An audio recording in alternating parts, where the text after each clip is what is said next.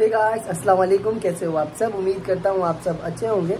And आप लोग की दुआओं से मैं भी एकदम मस्त हूँ। खुश आमदीद आपको लखनऊ के एक नए ब्लॉग में। सो आज जा रहे हैं हम लोग देवा शरीफ, जो बाराबंकी में लोकेटेड है और जहाँ से मैं रहता हूँ, यहाँ से तकरीबन 25 किलोमीटर की दूरी पर है। तो अभी यहाँ से हम लोग पॉलीटेक्निक जा रहे हैं और वहाँ से फिर हम लोग कमता जाएँगे एंड कमता से बस लेके हम लोग देवा शरीफ जाएँगे हम लोग। ठीक है? तो अभी तीन, साढ़े तीन महीने के अंदर ही जो है ये मैं तीसरी बार जा रहा हूँ अभी।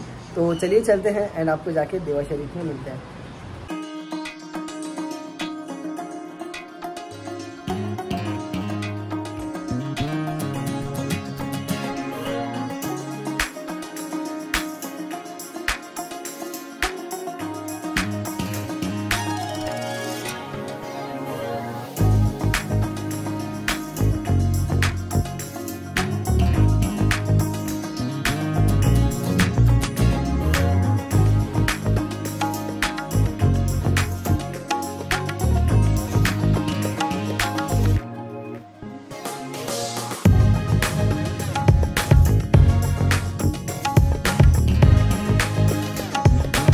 देवा शरीफ आएँगे तो आपको मज़ार के रास्ते में बहुत सी प्यारी प्यारी ऐसी मिट्टी की चीज़ें आपको देखने को मिलेगी। जैसे ग्लास हो गए।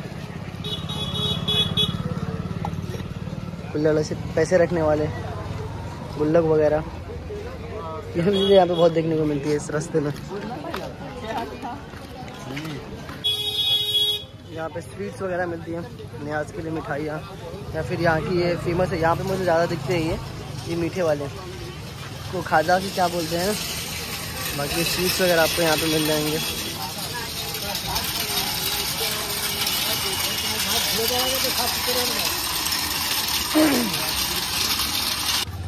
मज़ार के रास्ते में आपको मार्केट देख जाएँगे जहाँ पे आपको इयर और भी बहुत सी चीज़ें मिल जाएँगी।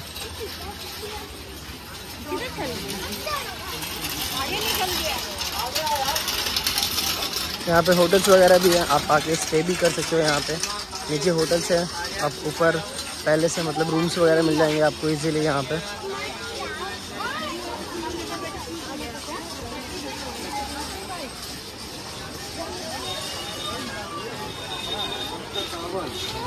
थोड़ी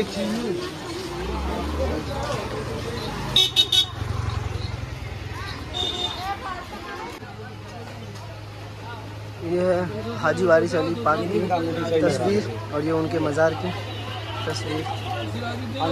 बहुत अच्छा है।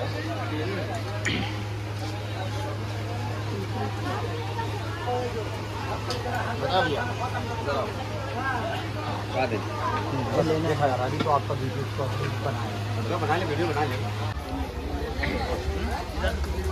अभी हम लोग पहुँच गए हैं मज़ार शरीफ के गेट के बाहर।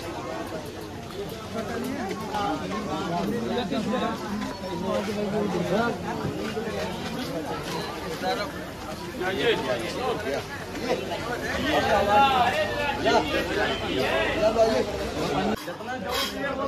देखिए माशाल्लाह खूबसूरत मंजर यहाँ का। हाजी वारिस अली पाक का दरगाह।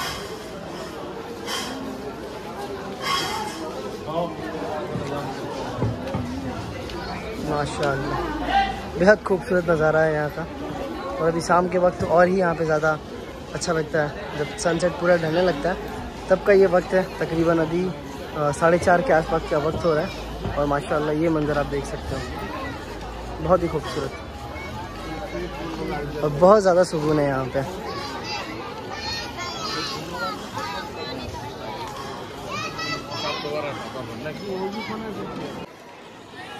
ये पीछे की साइड जो है, ये मस्जिद है। और अभी हम लोग वज़ू बनाने के लिए निकल रहे हैं। जाते हैं, पहले वज़ू बनाते हैं, अंदर ज़्यारत करते हैं, और फिर जो है वो बाहर आके फ़ोटोज़ वगैरह लेंगे हम लोग।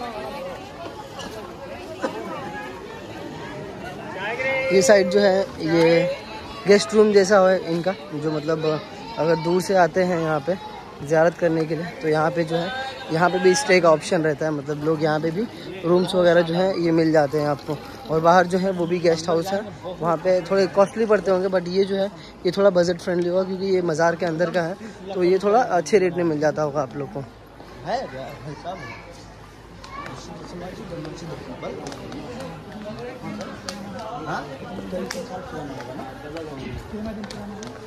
यहाँ पे लंगर जो है ये दोपहर और शाम को डेली मिलता है यहाँ पर ठीक है? ये पीछे का एरिया है जो। ये दरगाह शरीफ के पीछे।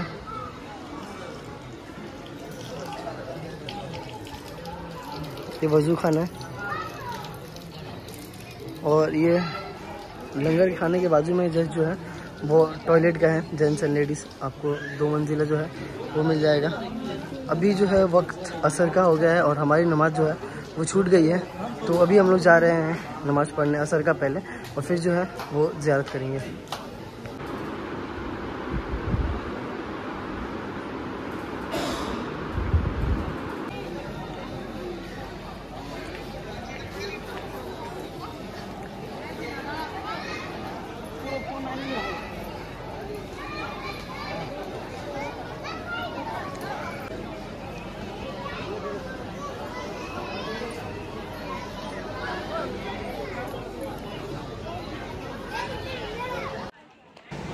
ये मंज़र देखिए, माशाल्लाह, ये मगरिब के अजान से पहले का मंज़र है।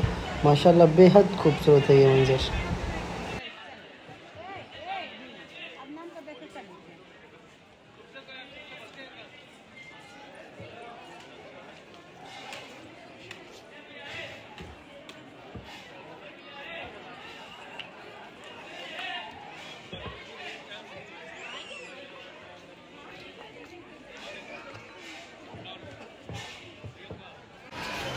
चले जी, अब हम लोग ने जो है वो मगरिब की नमाज़ अदा कर ली है और अब हम लोग रुक कर रहे हैं अपने घर के लिए।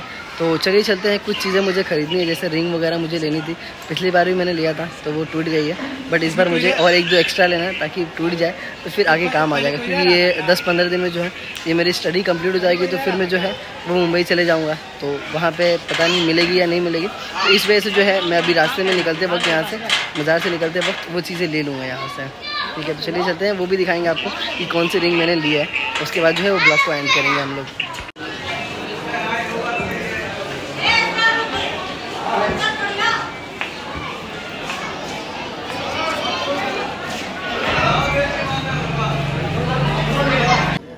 ऐसे में रिंग लिया था मैंने बट जो पिछले टाइम लिया था वो ब्लू था।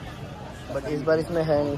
तो ये एक ले रहा हूँ मैं, और अगर मुझे आगे किसी और दुकान पे दिखा तो वो ट्राई करूँगा मैं, एक ये ले रहा हूँ बट दस रुपये का है बट अच्छा लगता है हाथों में पहन कर मुझे ये। तो ट्राई करने के बाद है कि मुझे दूसरा वाला भी जो है, ये ब्लू कलर का मिल गया तो दोनों जो है वो मैंने ले लिया। एक वो जो ब्लैक था, वो दस का पड़ा था, और ये वाला जो है, ये बीस रुपये का था, ठीक है? तो अभी हम लोग ने ज्यारत भी कर ली, और ये मुझे रिंग लेना था रिंग भी ले लिया मैंने। सो अब निकल रहे हैं हम लोग घर के लिए तो इंशाल्लाह मिलते हैं फिर हम लोग नेक्स्ट ब्लॉग में। तब तक के लिए स्टेट यून गुड बाय